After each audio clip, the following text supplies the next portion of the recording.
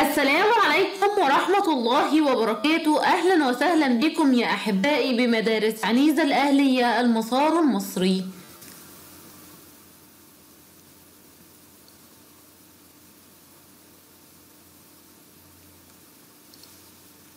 مادة التربية الدينية الصف الثاني الابتدائي إعداد أستاذة إسراء.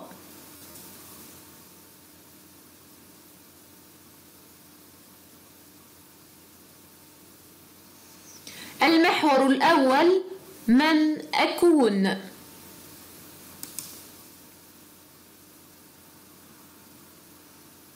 درسنا اليوم يا أحبائي بعنوان الطهارة. هيا بنا يا أحبائي نتعرف على درسنا اليوم.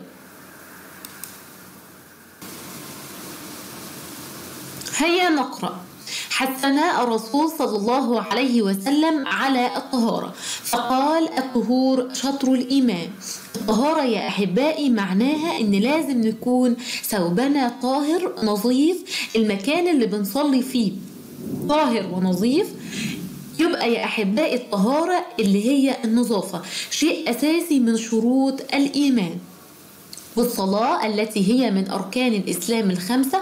طبعا يا أحبائي الصلاة من أركان الإسلام الخمسة أركان الإسلام الخمسة اللي درسناها قبل كده الشهادتان والصلاة. يبقى الصلاة ثاني ركن من. من أركان الإسلام الخمسة. لا تصح إلا بالوضوء والطهارة.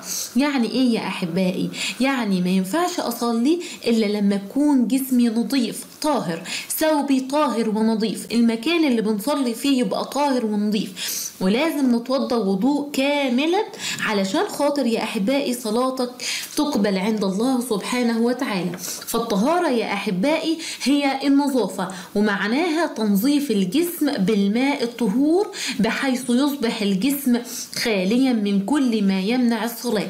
إيه هو الماء الطهور ده يا أحبائي؟ إنك تدخلي تستحمي تحت الماء الصنبور اللي هي الحنفية وبتطهري من أي شيء سواء عرق يلمس جسمك فطبعا هيصبح جسمك خالي من كل إيه من كل شيء يمنع الصلاة. يبقى الطهارة يا أحبائي نظافة الجسم بالماء حتى يصبح جسمك خالي من أي شيء يمنع الصلاة. كما وصانا الرسول صلى الله عليه وسلم يا حبيباتي الطهور شطر الإيمان. تعالوا يا حبيباتي نتعرف على نواقض الوضوء. يعني إيه نواقض الوضوء؟ يعني الحاجات اللي أنت لو عملتيها هتنقض وضوئك. يعني خلاص وضوئك ما بقاش ينفع. لازم نعيده مرة ثانية. أول حاجة يا أحبائي تنقض وضوئي البول والبراز وخروج الريح. بمعنى ما ينفعش أكون متوضي وأقوم أعمل حمام. لو أنت عملتي كده هتضطر إنك تعيد الوضوء مرة أخرى لأن وضوئك الأولاني اتنقض ما بقاش غير صحيح فطبعا لو خرجتي ريح فبرضه هتتوضي مرة ثانية. الحاجة الثانية يا أحبائي اللي بتنقض وضوئي النوم العميق. لو إحنا نومنا نوم عميق ما حسيتيش باللي حواليكي فالنوم ده بينقض وضوئك فبرضه هنتوضى مرة ثانية. هيا نستكمل. الماء الطهور. ما هو الماء الطهور؟ هو الماء الذي لم يسبق استعماله من قبل ولم يتغير طعمه ولا لونه ولا رائحته. يعني إيه معنى الكلام يا أحبائي؟ يعني المية ما يبقاش ليها ريحة تشمها بأنفك ولا ليها طعم متغير لو شربتها ولا لونها متغير يبقى يا أحبائي مية صافية. أين نجد الماء الطهور؟ نجد الماء الطهور يا أحبائي في خمسة أشياء. أول حاجة ماء البحر. يبقى ماء البحر ماء البحر طهور. تاني حاجة ماء المطر اللي بينزل من السماء طهور. ماء البئر ماء طهور. ماء العين ماء طهور. مثل البئر تماما. ولكن البئر يا أحبائي اللي بيحفروا مين؟ بيحفروا الإنسان. إنما ماء العين من صنع الله سبحانه وتعالى.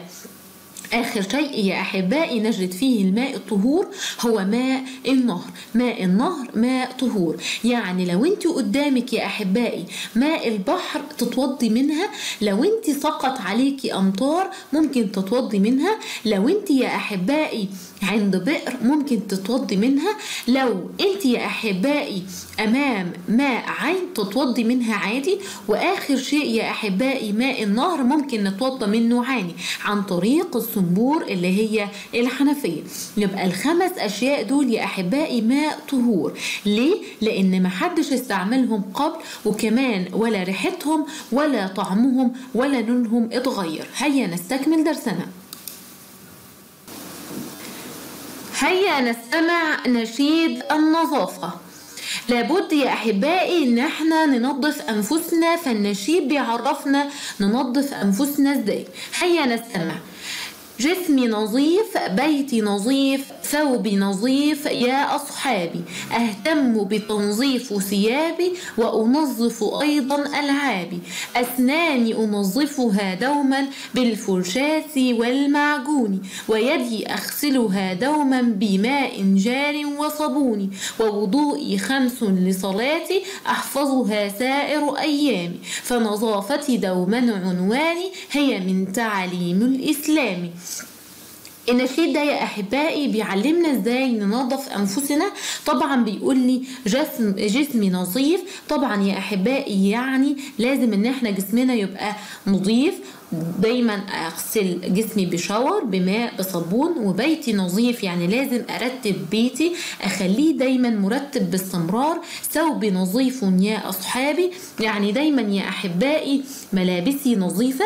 أهتم بتنظيف ثيابي. يعني يا أحبائي اللبس اللي أنا بلبسه ما فيهوش تراب مش عليه بقع. لبسي دايما يكون نظيف. وأنظف أيضا ألعابي. يعني دايما يا أحبائي الألعاب اللي أنا بلعب بلعب بيها.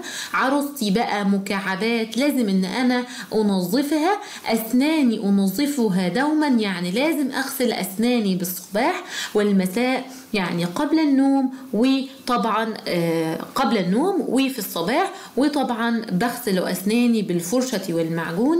ويدي أغسلها دوما يعني دايما يا أحبائي إيدي دايما أغسلها قبل الأكل.